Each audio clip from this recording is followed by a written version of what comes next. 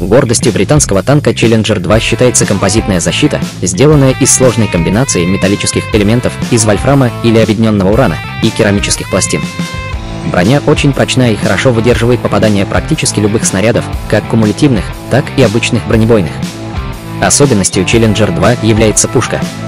Во-первых, она нарезная, во-вторых, использует неунифицированные с НАТО боеприпасы раздельной зарядки. Система управления огнем цифровая, имеет командирскую панораму, тепловизоры, лазерные дальномеры. У механика-водителя есть тепловизионная камера заднего вида. Башня на 360 градусов вращается всего за 9 секунд. Под сиденьем погрузчика Challenger 2 есть туалет. Его наличие может спасти жизнь военных во время боя. В танке есть небольшой бойлер, чтобы нагреть пищу или сделать чай. И если не учитывать пушку, то во всем остальном Challenger 2 – классический танк западной школы с экипажем в 4 человека, без автомата подзарядки.